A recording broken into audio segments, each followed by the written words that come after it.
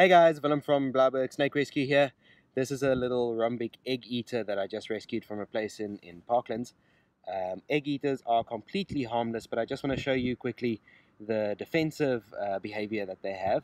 Um, people often mistake them for dangerous snakes because of this, and then unfortunately they get killed. But they barely have any teeth, and they're not venomous, so they can't hurt you.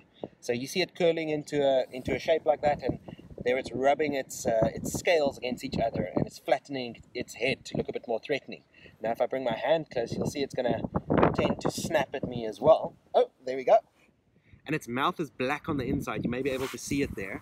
Uh, that makes people sometimes think that it's a mamba or something. Um, but like I said, these guys are completely harmless. They're lovely little snakes. And we find them all over here in, in Tableview. So I'm just going to go put him back in the bush now and he'll be safely on his way.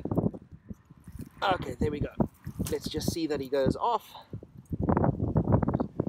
Remember guys, you never have to deal with snakes yourself. Uh, rather call a snake catcher. You'll take a look at snakeremoval.co.za for, for the contact details for the snake catchers closest to you. Stay safe.